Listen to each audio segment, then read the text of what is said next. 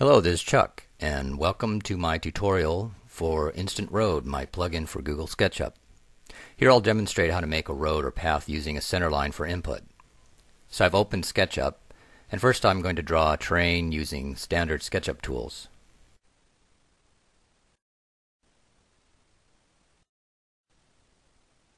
So now I'm ready for Instant Road. The script takes a group for input, so I need to start out with an empty group to draw the center lines in. One way is to draw a temporary line somewhere off to the side. Select the line, choose Edit, Create Group, double click to open the group, erase the temporary line. Now I'm inside an empty group. I'll draw a few connected lines for path alignment, close the group, then select both the terrain and the group containing the lines.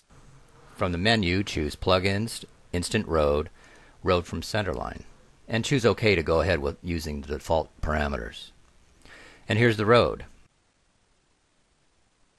I'll turn on hidden lines to show the contouring. But the curve isn't as smooth as I would like, so I'm going to run the script again with increased precision.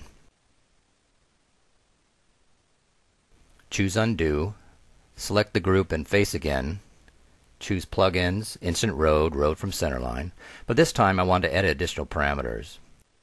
Ignoring the other settings for now, I just want to increase the smoothing of the curve, so I increase this value to 10 times. Choose OK.